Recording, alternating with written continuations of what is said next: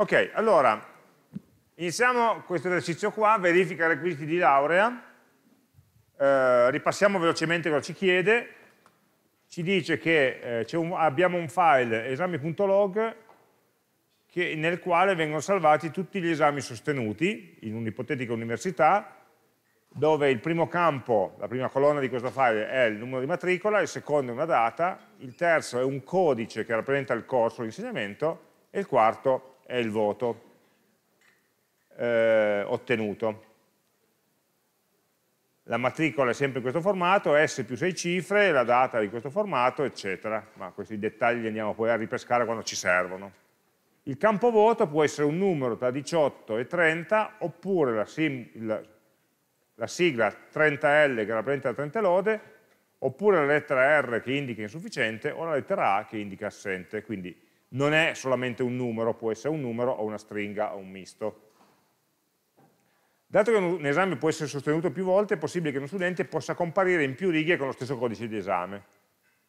Tipicamente se dall'esame non lo passi, eh, oppure lo rifiuti, oppure, eh, oppure sei assente. Mm? In tal caso l'ultimo voto è quello da considerare per la media dei voti di uno studente. L'ultimo voto. Attenzione che questa parolina ultimo va combinata con i dati che compaiono nel file senza un ordine particolare. Quindi l'ultimo voto di uno studente per un corso non è detto che sia quello che compare più avanti, cioè non c'è garanzia che il file con gli esami sia ordinato per data crescente. Mm? Quindi questo ci complicherà un pochino la vita. Dopodiché cosa devo fare con questi dati? Ho un secondo file che rappresenta essenzialmente gli esami sostenuti, cioè cioè gli esami esistenti, e per ciascuno mi dà il numero di crediti CFU, e poi c'è un terzo campo, 1, 0, che rappresenta se questo esame sia obbligatorio oppure no. Quindi questo qua è la guida dello studente, cioè l'elenco di tutti i corsi, il codice, i crediti e se è obbligatorio oppure no. Cosa devo fare di tutto questo? Allora, devo elaborare il file contenente gli esami svolti e stampare la lista di matricole degli studenti che possono essere ammessi all'esame finale di laurea. Quindi tutti gli studenti che trovo nel file esami.log devo dirti, guarda, tu, lui può sostenere l'esame, l'altro non può sostenere. E sulla base di quale criterio? Dice che per essere ammesso devi aver accumulato almeno 30 crediti totali, quindi devi avere almeno 30 crediti di esami superati, di cui almeno 10 di esami obbligatori. Ok? Quindi, che ne so, la matricola 1 eh, ha superato, non ha superato qua l'esame IN1, quindi questo non ci interessa. Qui ha superato l'esame AM1, e andiamo a vedere che AM1 era da 10 crediti, quindi 10, poi eh, qua ha superato l'esame IN1 e IN1 è da 10 crediti, quindi siamo a 20, ed entrambi sono obbligatori, quindi 20 obbligatori. Poi abbiamo quest'altro, SCZ, che è un esame da 15 crediti non obbligatori. Quindi questo studente ha preso in totale 20 crediti obbligatori e 15 non obbligatori. È laureabile o no? Allora la regola mi dice che devo averne 30 totali, sì li ho perché ne ho 35, di cui almeno 10 obbligatori, sì li ho perché ne ho 20. Okay? E quindi dirò, lui è laureabile. E così via. Nella lista devo stampare per ciascuno studente i CFU ottenuti, indicando quelli obbligatori,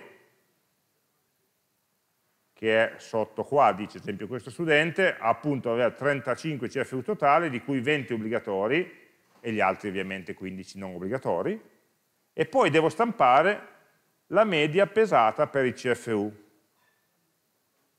la media pesata dei voti che ha preso.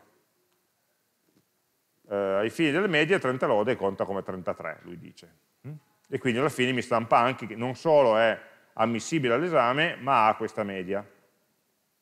Quest'altro studente aveva 26 crediti in totale, 20 obbligatori, ma non avendone in totale 30, solo 26, non è ammissibile alla laurea. Qui c'è scritto no laurea, nonostante avesse 30 di media. Um, qui c'è una leggera ambiguità secondo me nel testo, perché il testo qua dice stampare la lista di matricoli degli studenti che possono essere ammessi all'esame finale di laurea. Io quando leggo questa frase capisco che gli altri non li devo neanche stampare. Eh, invece nell'esempio sotto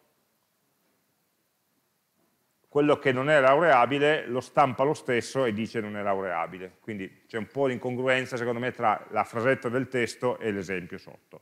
Però tanto alla fine quei dati lì dobbiamo calcolarli, non ci cambia molto stamparli oppure meno. Ok? Allora, noi abbiamo già giocato adesso con l'esempio della matricola 1 per vedere quale tipo di operazione dobbiamo fare. Presa una matricola andiamo a spulciare uno per uno i suoi esami, per ciascun esame andiamo a contare quanti crediti ha, ci teniamo da parte quanti crediti ha preso, se è obbligatorio, e il voto che ha preso eventualmente, che ci serviranno poi per fare le medie e per fare i confronti. Ok? Le volte in cui lo studente non ha superato l'esame, come questa, possiamo tranquillamente ignorarle.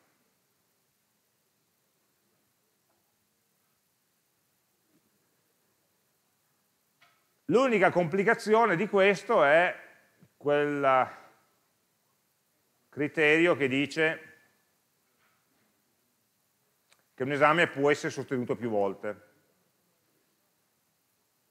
Adesso a me pare che in questo file non compaia questa situazione, vero? Perché lo stesso studente, Amun, eh, eh, eh, qui sono tutti, per un determinato studente i codici degli esami sono diversi. Però, visto che c'è scritto nel testo, ne dovremmo tener conto. Allora, cosa succede? Facciamo finta di modificarlo, no? che questo studente qui a un certo punto, più avanti, abbia di nuovo lo stesso esame, che so, con un voto, aveva preso 20, adesso ha preso 28, con un voto diverso in una data che non è più il 30 gennaio, ma è il 15 febbraio. Se, fosse, se capitasse questo caso, vuol dire che io devo eh, ignorare, dovrei ignorare questa riga e invece tenere per buona quest'altra. Perché? Perché a parità di studente, studente 1, parità di corso, SCZ, questo ha una data più recente.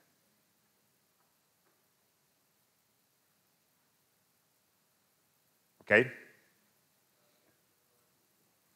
Quindi vuol dire che in certo senso io ho bisogno di sapere, dato questo file di dati, per ogni coppia studente-esame, qual è il voto che ha preso, se l'ha preso. Ok? Quindi all'inizio mi dirò, guarda, studente 1, esame in 1, niente, questa riga la, la ignoro. Studente 1, esame M1, voto 30. Studente 1, esame IN1, voto 30. Studente 1, esame SCZ, voto 20 e mi salvo questa informazione. Quando arrivo sotto dico, studente 1, esame SCZ, mannaggia c'è già. Allora devo tenere quello vecchio o quello nuovo? Devo andare a confrontare le date. Allora, un modo per poterlo fare facilmente potrebbe essere quello di prendere questi dati come una lista e ordinarla in ordine cronologico. Se io li ordino per data, allora sono sicuro che tutti quelli che arrivano dopo devono sovrascrivere quelli che c'erano prima. Giusto? Quindi se io lo ordino per data, io li leggo e se ritrovo un'altra volta lo stesso studente, vabbè, vuol dire che andrò a modificare i dati che avevo prima.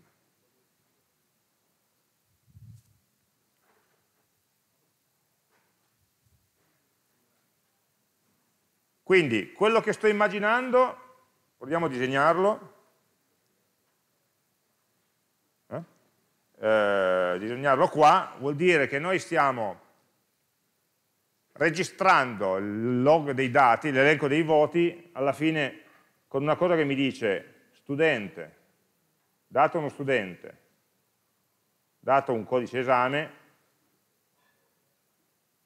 mi deve dire il voto e forse la data. Non so se mi serve la data.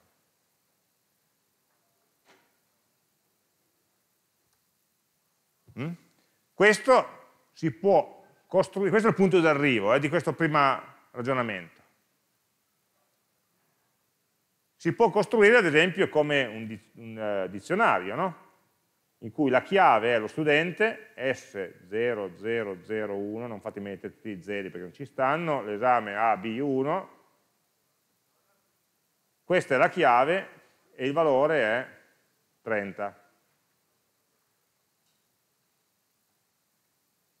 Poi ho un altro elemento che è un altro studente, S0002 magari, l'esame AB1, lo stesso esame, ha preso 20. Poi di nuovo lo studente S0001 per un altro esame, ZZ2, ha preso 25 e così via.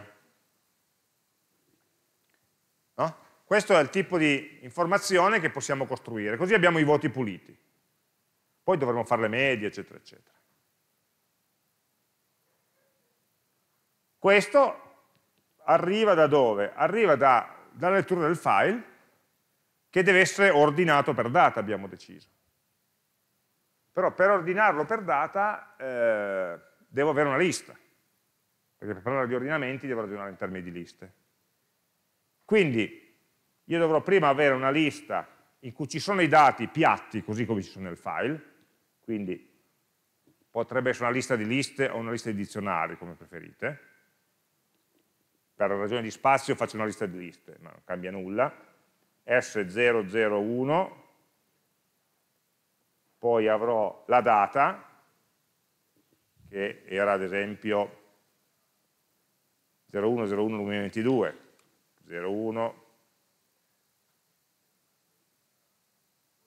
ha smesso di scrivere perché, voglio, perché mi vuole bene,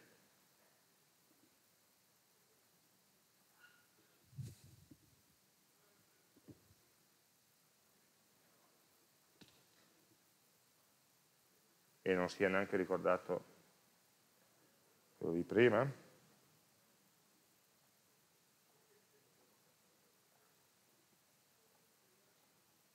Bene.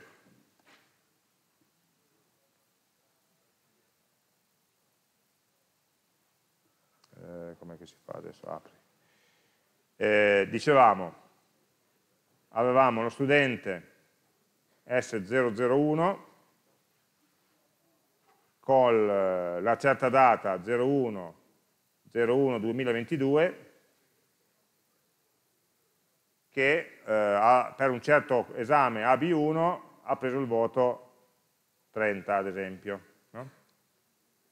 E così via, avrò tutti gli studenti, una riga dopo l'altra leggo il file. Qui non sto a entrare nei dettagli perché in realtà è esattamente la, la lettura che facciamo normalmente in un file diviso in campi. Quindi abbiamo una lista e questa lista va ordinata sulla base del campo data. Però questo campo qui non è che posso ordinarla come stringa,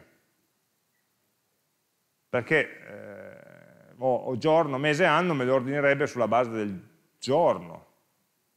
Quindi prima tutto l'1, 1, 1 gennaio, 1 febbraio, 1 marzo, 1 aprile, 1 maggio, poi dopo il 2 gennaio torna indietro, no? Allora cosa conviene fare solo per lo scopo di ordinamento? Beh, conviene secondo me aggiungere un altro campo, qua, che sia la data nell'ordine giusto, cioè anno, mese, giorno, che è l'unico ordine che ha senso. Quindi io questa cosa qua potrei costruire 2022 0101 e lo aggiungo come campo aggiuntivo.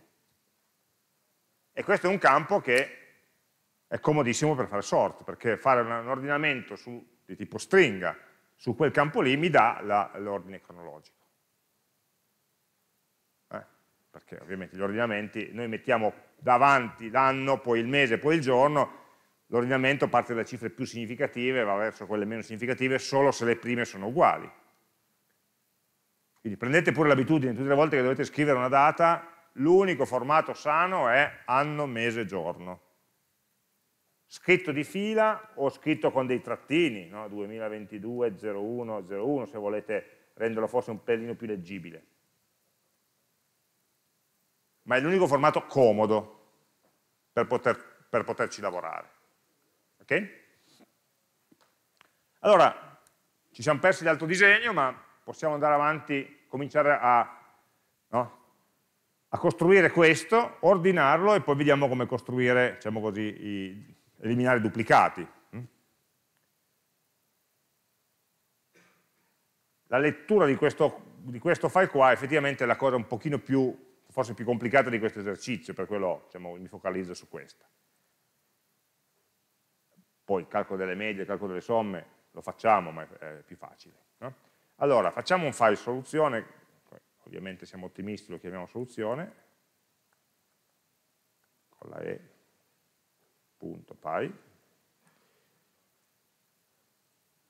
Mm? E quindi possiamo eh, innanzitutto no? leggere i voti, leggi gli esami,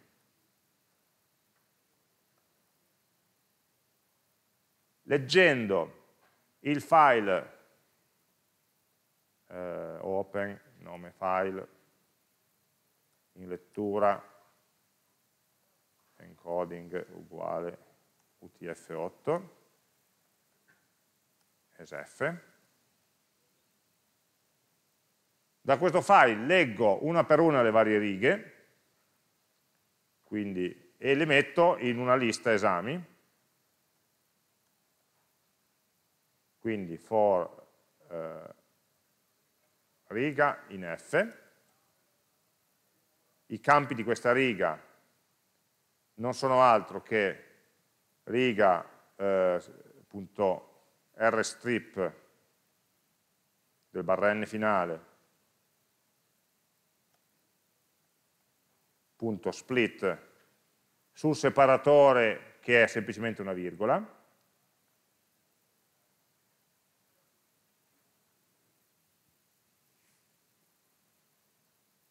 E quindi questa lista camp, campi che mi esce fuori dallo split un, sarà una lista di 0, 1, 2, 3, 4 elementi da 0 a 3. Dove siamo? Adesso, se leggessi il file brutalmente senza farci nessun ragionamento, farei un esami.append di campi, no? E così abbiamo la lista totale. Però già che ci sono facciamo un minimo di lavoro che ci renda più comodo successivo, i passaggi successivi. La prima cosa che io farei è buttare via gli assenti e i respinti, tanto non ci servono. Quindi quando il voto è A oppure R, ignoro, non mi serve. Quindi questo append lo faccio solo se il voto, che sarebbe campi di 3, scusate, 0, 1, 2, 3, se campi di 3 non è assente e campi di 3 non è respinto, allora lo aggiungo, altrimenti non lo aggiungo.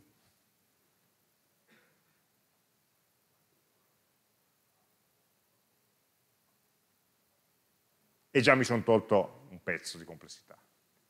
Poi l'altra cosa che posso fare mentre sto leggendo è mettere a posto il voto. Il voto è da 18 a 30 lode, allora posso benissimo prenderlo come numero, vado devo solo andare a intercettare il 30 lode. Quindi a questo punto se io vado prima di questo, uh, no, dopo, sono sicuro che non è una A e una R, allora vado a controllare se campi di, dov'è il voto? Campi di 0, 1, 2, 3, no, campi di 3 era, sempre campi di 3 il voto, sì, sempre campi di 3. Quindi se campi di 3 fosse un trente lode, allora lo posso sostituire, uguale, uguale, lo posso sostituire con 33. Altrimenti, altrimenti vuol dire che sarà un numero tra 0 e 30, tra 18 e 30, e la cosa che posso fare per comodità mia è trasformarlo già in intero. Devo, devo poi farci le somme, le medie, tanto vale metterlo intero.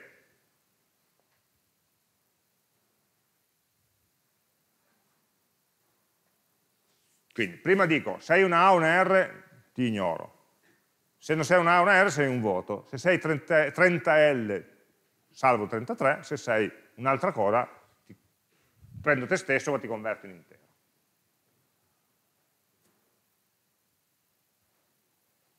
Dopodiché sono a posto, ho letto tutto, avevamo detto io però vorrei no, ordinarli per data crescente. Non abbiamo attualmente un campo che possa essere usato per ordinare secondo la data crescente, perché la data che c'è è scritta in modo storto. Okay? Allora, quello che possiamo fare è costruirci una data da ordinare, c'è scritta anno, mese, giorno, e ordinare su questo campo qua. Quindi un, diciamo così, una data scritta anno, mese, giorno, IMD, come la posso ottenere? Beh, posso prendere, dando per scontato, come mi dice il testo, che i file siano corretti, posso andare a prendere questa cosa qua,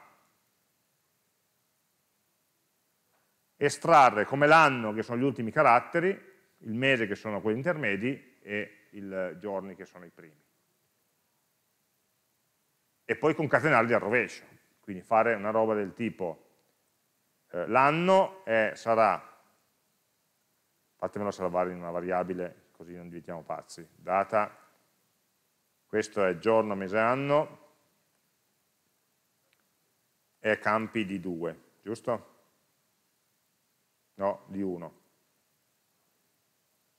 Allora, la data in formato anno, mese, giorno sarà data data, giorno, mese, anno, degli ultimi 4. Allora questa qui quanti caratteri ha? 2, 4, 6, 7, 8 che sono le sbarre. Quindi gli ultimi 4 caratteri sono quelli 0, 1, 2, 3, 4, 5, da 6,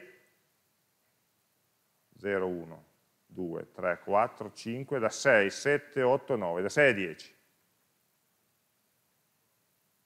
Quindi da 6 a 10, fino in fondo. Questo è l'anno. Poi il mese lo prendo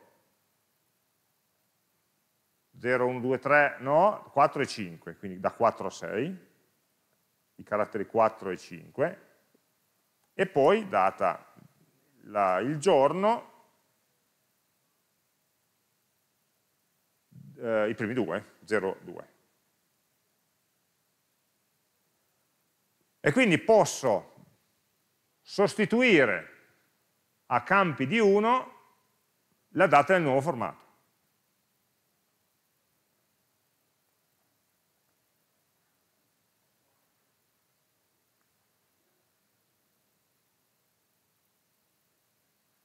E poi appendo questa cosa. Quindi ho, ho trasformato i dati in un formato più comodo.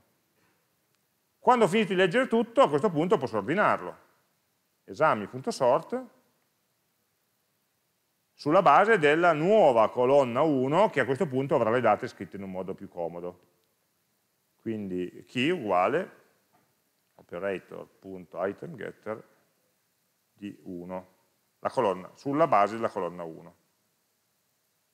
Operator lo devo importare,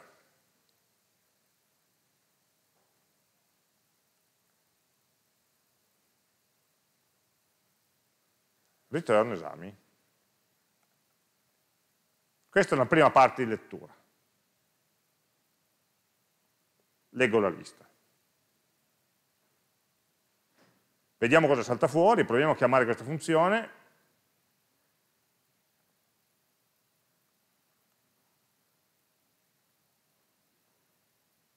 Eh, proviamo a fare un run, vediamo se non ci sono errori.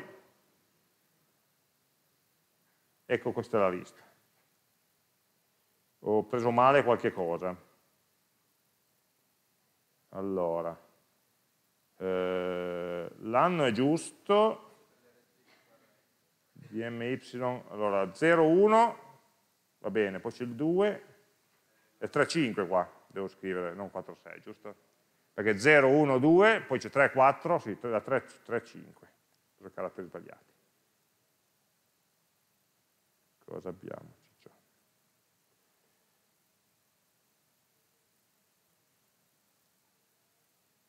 Ok, questo qua. 2022 0101, 2022 0101, 2022 0120, 2022 0130, eccetera.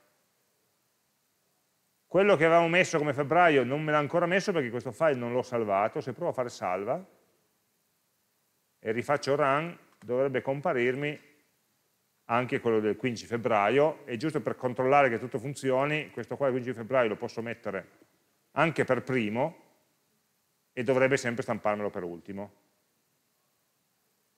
Ok? Ok, quindi siamo riusciti a leggere già con un primo filtro i dati. Poi un secondo filtro che dovremmo, dovremmo applicare è che se per caso c'è una coppia studente-esame uguale, quella vecchia la devo dimenticare. Mm? La, devo, la dovrei cancellare, la dovrei ignorare, la dovrei eliminare. Questo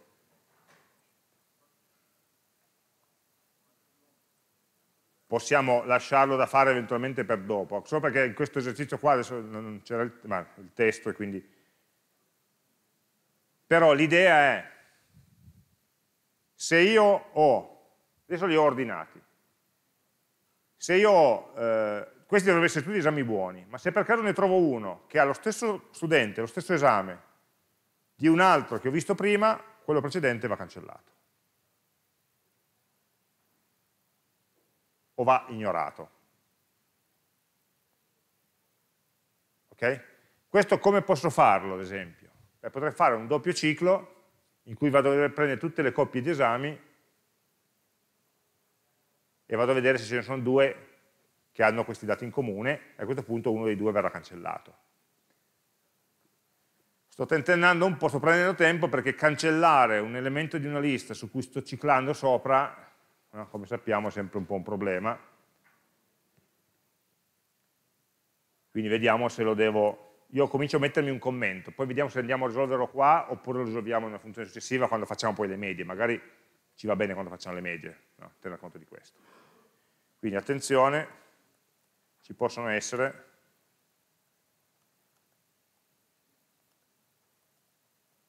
coppie studente corso duplicate. O le rimuovo qui, oppure ne devo tenere conto, ne devo tenere conto dopo.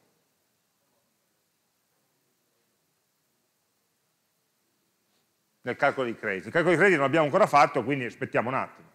Okay? Vediamo, magari ci viene comodo là, oppure se no sappiamo che qui dovremo cancellare alcune righe. Ok. Adesso, cosa ci chiede? Ci chiede di eh, prendere tutti gli studenti, per ciascuno studente prendere gli esami e fare la somma dei crediti, cosa devo calcolare per ogni studente? Devo calcolare tre, tre numeri. Quanti crediti obbligatori ha? Quanti crediti non obbligatori ha e qual è la somma dei suoi voti. Allora, per sapere se un esame è obbligatorio o no e sapere quanti crediti ha, mi serve l'altro file.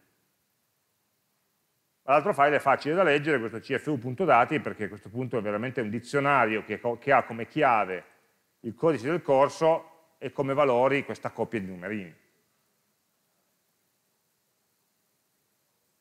Quindi def leggi eh, dati, dati CFU chiamiamolo.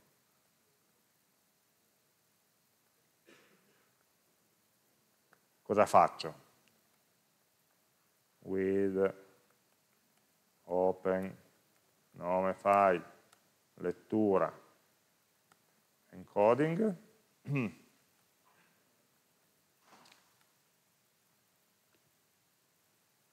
Mi costruisco, abbiamo detto, un dizionario, che chiamiamo pure CFU, il file si chiama CFU, quindi chiamiamolo CFU, qui ci vuole un uguale, for riga in file. I campi riga in F. I campi saranno riga.rstrip del barra n, eh, punto split, dove c'è la virgola, giusto, anche qua c'è una virgola, no? Sì? Ok? Allora, un singolo corso avrà come chiave campi di 0, cioè il suo codice, e come valore campi di 1 campi di 2 portati in intero, sono numeri interi questo. Quindi potrei semplicemente scrivere CFU uguale, CFU scusate, di campi di 0 uguale una coppia di valori, metto una tupla tanto non lo devo modificare, che sono l'int di campi di 1 e l'int di campi di 2.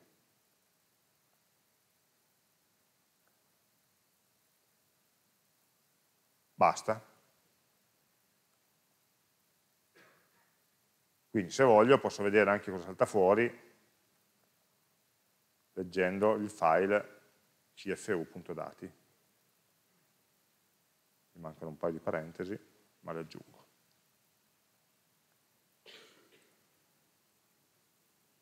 Ok? Quindi ho costruito un dizionario che ha come chiave il codice del corso e come valore la coppia crediti obbligatorio, crediti obbligatorio, crediti obbligatorio, crediti obbligatorio, eccetera, per tutti i codici.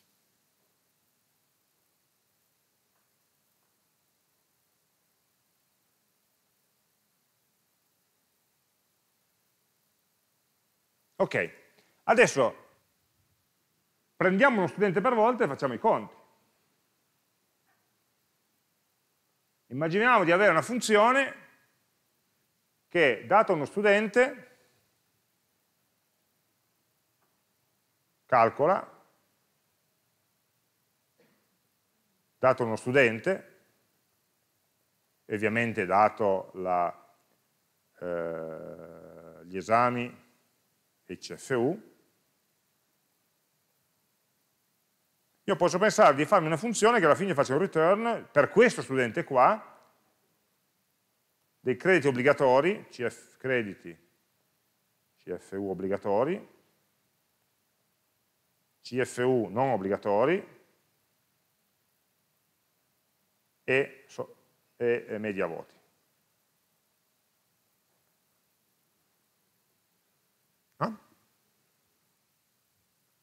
Questa funzione una volta che la scrivo, poi la chiamerò tante volte, una per ciascuno studente,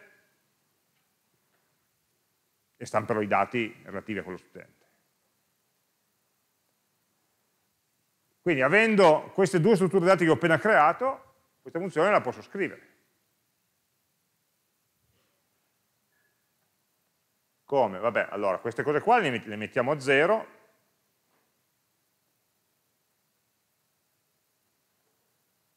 queste fatemi fare un copia e incolla da pigro proprio, uguale a 0, CF1 obbligatori uguale a 0, media voti, somma voti uguale a 0, perché fa, per fare la media dobbiamo prima fare la somma, no? Somma voti pesati, cioè il peso di un voto è uguale al numero di crediti. Allora, lo studente lo conosco già, vado a vedere nella tabella degli esami quali sono i suoi esami. Quindi, for esame in esami, if esame di 0 uguale studente è lui.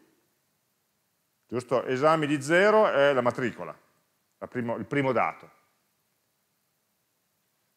Studente il parametro che ho ricevuto, vado a confrontare la prima colonna no, di questa tabella con, nome, con la matricola dello studente.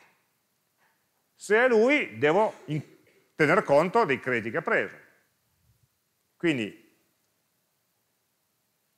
vado a vedere qual è l'esame che ha sostenuto. E questo esame avrà un certo numero di CFU e avrà, sarà o non sarà obbligatorio. Queste due informazioni, se ha dei CFU e se è obbligatorio, li posso andare a prendere dal dizionario dei CFU. Di quale CFU? Di quale corso? Quello il cui codice è nell'esami nella terza colonna 012.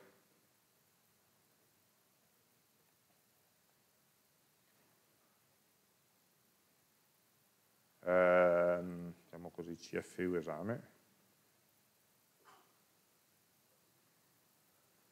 Quindi CFU, esami di 2 è cosa? Il codice. CFU di esami di 2 è la coppia che abbiamo costruito prima, perché indicizzo col dizionario CFU che abbiamo costruito prima. Questa coppia di valori la assegno, vedete che ho fatto un'assegnazione con la virgola a sinistra, separo questa coppia nei due, nei due perché potrei chiamarla valore e poi chiamare valore di 0 valore di 1, però tanto vale dargli no, già un nome a due variabili distinte. Dimmi.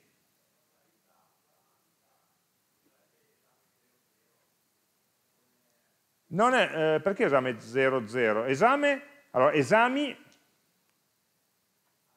esami è la lista. Sto iterando su questa lista, quindi ogni esame è, se no il limite sarebbe I0. No? Io cerco sempre di usare il plurale quando mi riferisco alle liste e il singolare quando mi riferisco agli elementi di queste liste qua. Scusate qua, di questo stavo parlando. Um, ok, allora, se l'esame era obbligatorio, devo aumentare i crediti obbligatori, se l'esame non era obbligatorio, devo aumentare i crediti non obbligatori. In ogni caso devo aumentare i, i, i, la media pesata, la somma dei voti pesati. Quindi la somma dei voti pesati la incremento di una quantità pari a, al voto che ha preso lui per il numero di crediti del corso. E il voto che ha preso lui dov'è? Il voto che ha preso lui è nella 0, 1, 2, 3 nella quarta colonna. Quindi esame di 4, che è il voto, per CFU esame. Poi mi chiedo se è obbligatorio, if obbligatorio uguale 1, allora vado a incrementare i CFU obbligatori della quantità pari ai CFU di questo esame. Altrimenti non era obbligatorio, allora vado ad aumentare i CFU non obbligatori della quantità di CFU di questo esame. Scusate, qui ci sono dei colleghi che hanno problemi con Crown Labs, eh, poco per volta risolviamo tutti prima dell'esame. Eh. Um,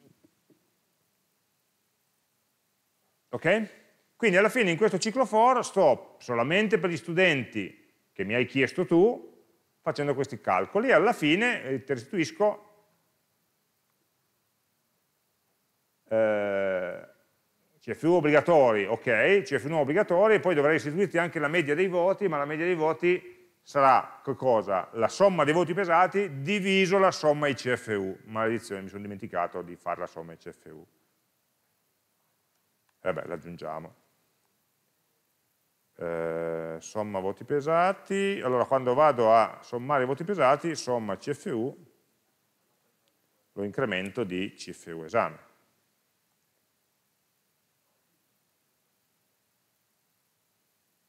Ah, sono pirla, non mi serve, scusatemi. Faccio la somma degli altri due, ce l'ho.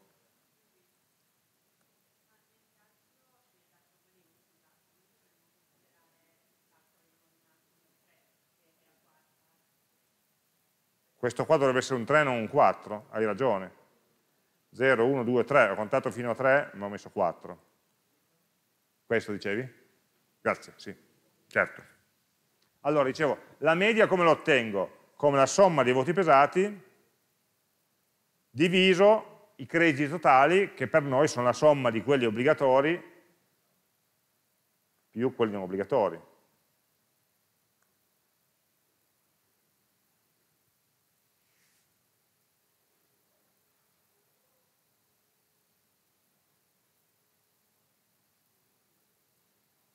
Dimmi.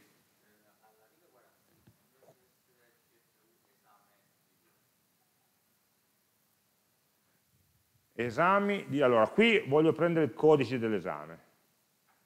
Il codice dell'esame è 0, 1, 2. Cosa ho scritto io? Esame, certo, grazie. Um, sì, allora, qui è esame, non è esami. Proviamo a vedere come ce ne saremmo accorti se non ci fosse stato lui. Fatemi fare un run. Print, calcola, dove studente S, sappiamo che c'è, lo mettiamo dentro a mano. Eh, qui beh, devo fare esami uguale. CFU uguale.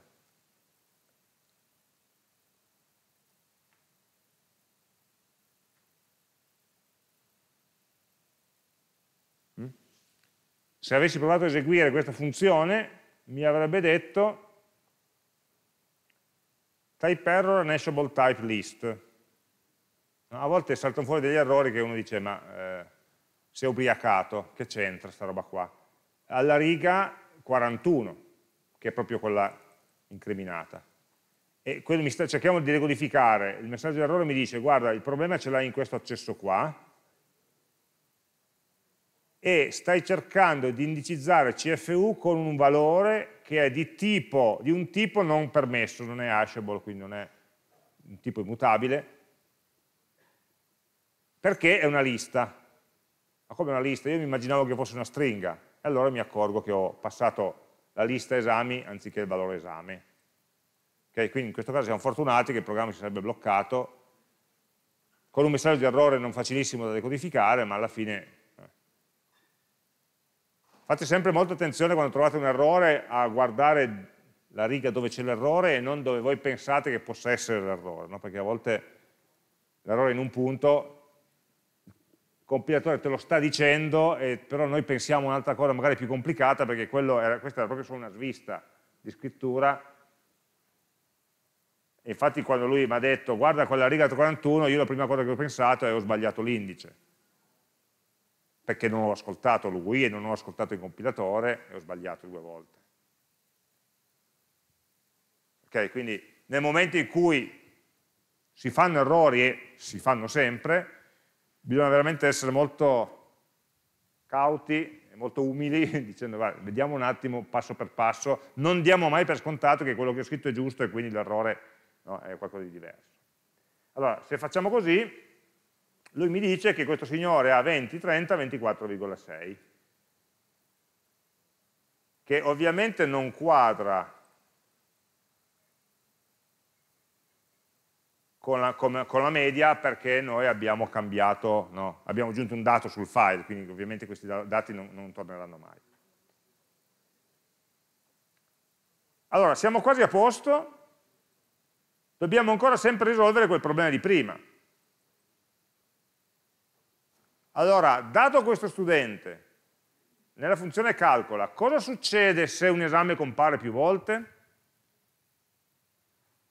Eh, succede che purtroppo lo considero più volte.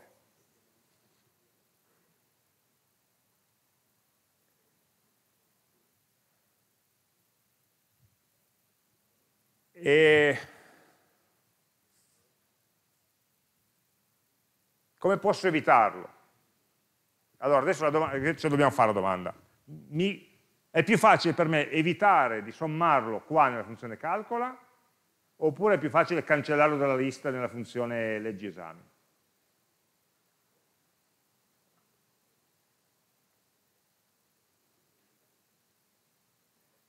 Allora, una cosa che sarebbe facile da fare nella funzione calcola è quella di tenere traccia degli esami che ho già messo,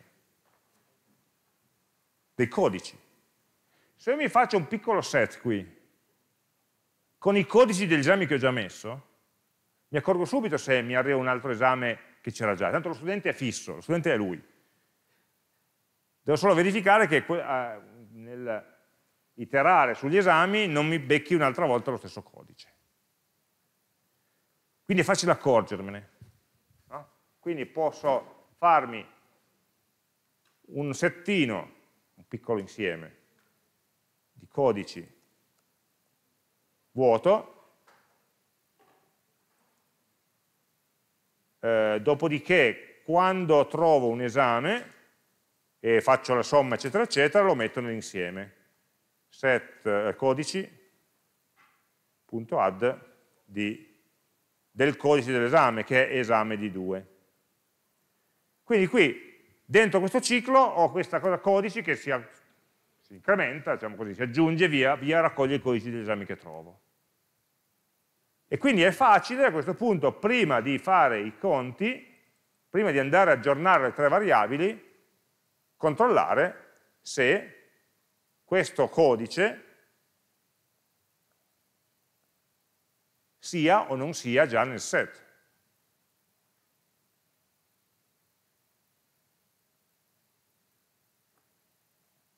Vabbè, mettiamolo anche questo. Quindi io estraggo i dati di questo esame, potrei anche mettere l'altro sotto, anche questo sotto. Quindi io l'esame lo considero solo se è di questo studente e, e di un codice che non ho mai visto. Adesso questo non funziona ancora benissimo perché mi conta il primo codice che vede ma non quelli successivi. Mentre in realtà noi abbiamo le cose in ordine crescente, quindi dovrei contare l'ultimo e non il primo. Giusto? Vabbè, allora facciamo l'iterazione al contrario. Abbiamo sbagliato l'ordinamento.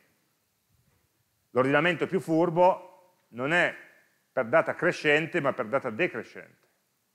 Quindi il primo che vedo è quello buono, quelli successivi li devo ignorare. Non ci avevamo pensato perché non avevamo ancora pensato a come gestire il problema. Però,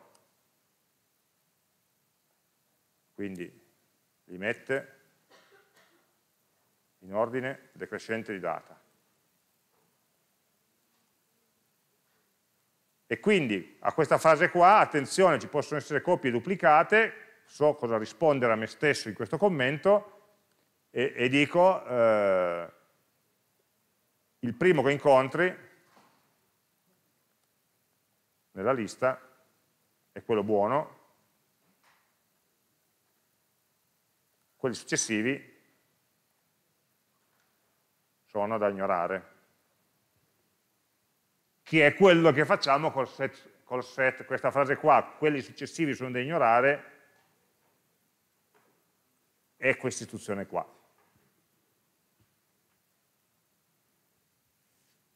codice è una variabile locale, quindi quando richiamo questa funzione con uno studente nuovo riparte da zero, eh? riparte di nuovo qua ad accumularsi i codici degli esami sostenuti da quell'altro studente.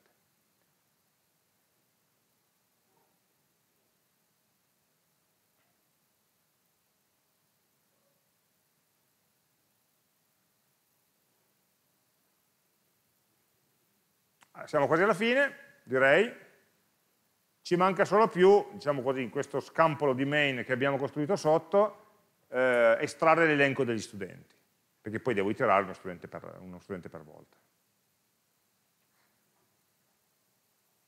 Allora, l'elenco degli studenti come lo ottengo? Lo ottengo sempre andando a spulciare gli esami, andando a cercare il primo campo quando è diverso.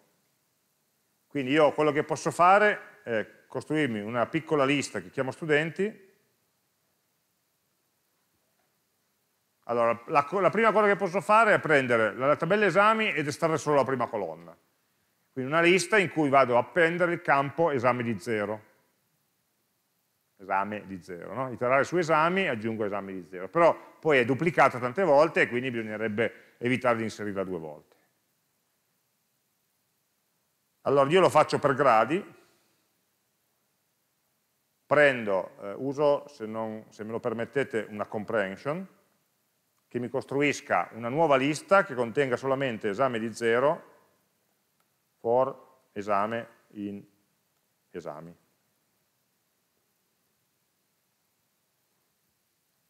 Ricordiamoci, la comprehension è la stessa cosa che fare un ciclo con l'append dentro. For esami in esami, append di esame di 0, quello che abbiamo detto a parole prima. L'ho solo scritto in forma compatta. Questo ha dei duplicati, perché ha esattamente tanti elementi quanto aveva la lista degli esami. Per buttare via i duplicati, c'è il mio amico set, che essendo questi insiemi stringhe, sono tranquillamente diciamo, eh, inseribili come, come, elementi di un insieme, e quindi se prendo la lista e creo un insieme partendo dagli elementi della lista, lei mi creerà un insieme con gli elementi unici. Dopodiché l'operazione di creare insieme è un'operazione ottima per eliminare i duplicati, ma mi, mi elimina anche l'ordine. Allora per avere questa lista in un ordine, per avere dei dati in un ordine diciamo, ragionevole, faccio in fretta a chiamare sorted su questo set. Sorted cosa fa? Prende il set e costruisce una lista, sorted restituisce sempre una lista, perché si parla di ordine, si parla di liste, ricordiamocelo questo oramai, mi dà una lista ordinata con gli elementi dell'insieme, i quali cos'erano? Erano la versione unica degli elementi della lista, i quali erano che cosa? Erano il primo campo degli esami, cioè le matricole degli studenti. Poi volendo si può scrivere su cinque righe, ma a questo punto nel corso possiamo anche permetterci di, far, di usare delle operazioni un po' più, più aggregate e non andare a prendere un elemento per volta, vedere se c'è o se non c'è con i cicli for come faremmo in C. Eh? E a questo punto, veramente, for studenti in studenti, studente è la matricola chiaramente, io posso chiamare la mia funzione calcola con questo studente su cui sto iterando, e questa calcola mi restituisce tre cose, noi abbiamo detto CFU obbligatori, CFU non obbligatori e eh, la media. Cominciamo a stamparli di brutto. Print, che cosa? Lo studente, CFU obbligatori, CFU non obbligatori, media.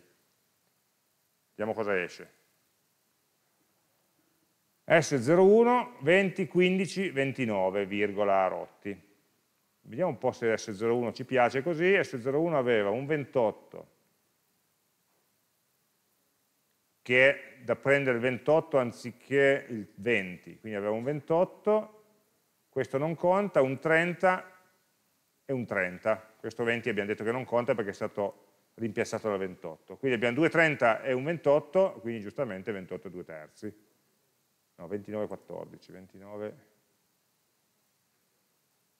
Ah no, perché poi, scusate, sono pesati per i crediti, non posso fare la media aritmetica.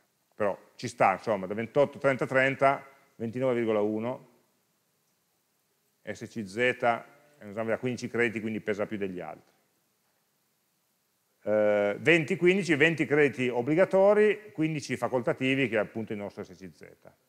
Studente 2, 26, vediamo un attimo, studente 2 ha questi tre esami, AM1 e in 2 SCA, AM1 10 crediti, AM2 10 crediti, 10 10 20 perché sono obbligatori, questo 20 è giusto, SCA sono 6 crediti non obbligatori e questo 6 qua dicono che lui abbia la media del 30 perché ha tutti 30. Okay. Se uno di questi fosse un 30 lode, non ce l'avevamo nel file di esempio, un 30 lode, vediamo se siamo capaci a, usare, a gestirlo bene, effettivamente la, la media mi supera il valore di 30. Allora, ho i dati, mi manca solamente di stamparli in modo ordinato, quindi non faccio una print così brutale, ma vado innanzitutto a chiedermi se è laureabile. È laureabile, ricordiamoci il criterio qual era? Se CFU totali sono almeno 30 e CFU obbligatori sono almeno 10. Vabbè, facile da scrivere. If CFU obbligatori più CFU non obbligatori sono almeno 30, maggiore o uguale a 30, and CFU obbligatori sono almeno 10.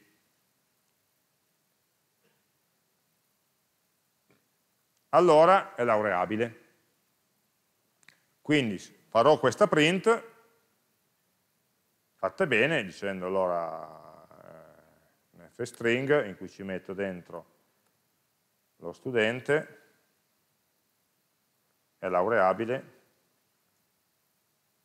con, con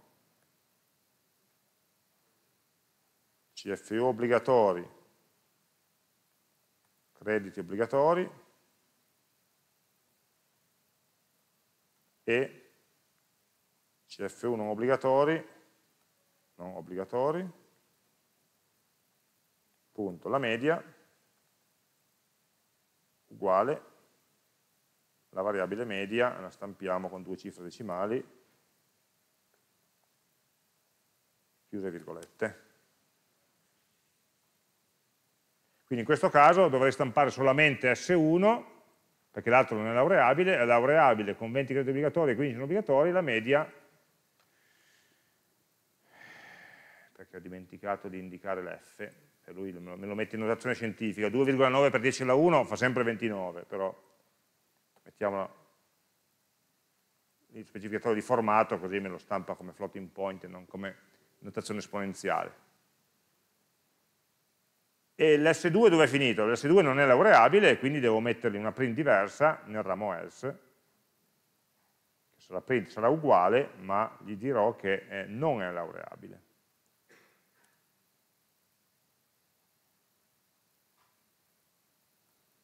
S2 non è laureabile con 20 crediti obbligatori e 6 non obbligatori. Quelli obbligatori lui li avrebbe, ma i 30 totali non li ha ancora invece. Nonostante abbia una media esagerata, non gli diamo la laurea.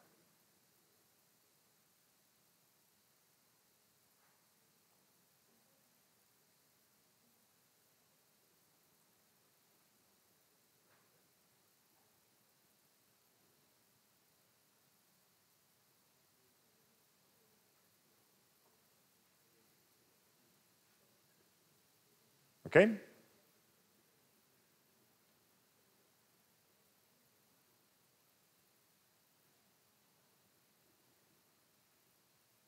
Allora, se non ci sono domande, questo qua lo consideriamo chiuso.